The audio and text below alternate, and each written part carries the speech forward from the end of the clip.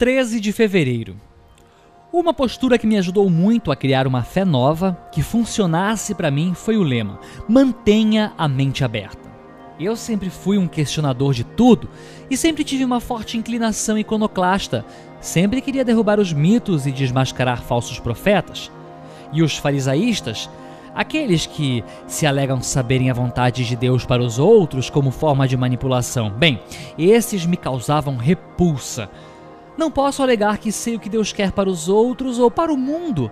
Só o que posso é abrir a mente e tentar uma comunicação com o meu poder superior a respeito dos meus assuntos.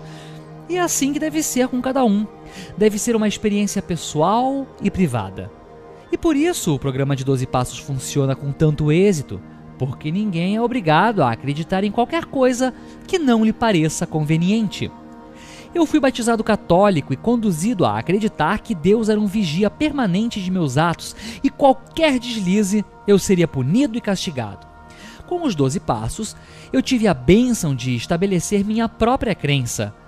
Eu ansiava em acreditar em um Deus de amor e misericórdia, um Deus de compreensão e com o poder de me ensinar as lições de vida através do amor e não do castigo.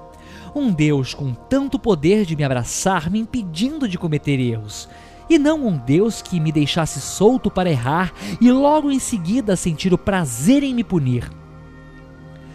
Fui professor por mais de 30 anos e via claramente como alguns colegas se regozijavam ao castigar seus alunos com a falsa modéstia de estarem educando. Isso me causava horror. Em minhas aulas sempre desejei que os meus alunos conseguissem adquirir o prazer de aprender o poder que a informação pode nos conferir, a utilidade prática de conhecer e dar um salto em direção à compreensão do universo.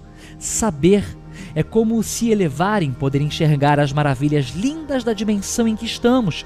De posse do conhecimento, é possível fazer mudanças que alavancam a realização dos nossos sonhos mais ambiciosos.